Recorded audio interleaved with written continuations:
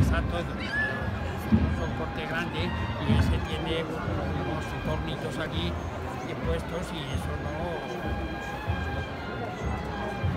Y eso, eso, no se lo lleva, ¿eh? él se ha llevado... De fuera, de fuera, ya ha